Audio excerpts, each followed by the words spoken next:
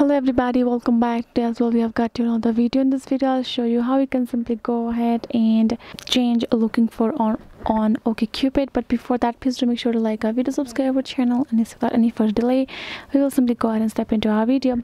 For the matter i would like to show you two particular options for that. First would be going tapping on your profile tapping on your profile again and if you scroll down you will find all kind of information that you have added over here. And if you go below then you will find this option called what I'm actually looking for right? So what you can do you can tap on this option. You can see you should message me if before I go on a date. Anything that particular that person should be aware of you can tap on that particular option and you can actually write about it over here. That would be first looking for preferences. Other would you tapping on your profile again and tapping on this option called preferences given above. Simply go ahead tap on it. And now you can see all of the basics settings and you have done. And here in the looks section body type open to any you can go ahead tap on it.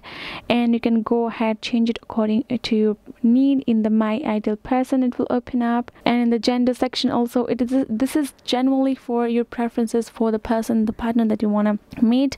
You can come over here basics to looks to background identity lifestyle family. You can see it's open to any. They are non-filled yet.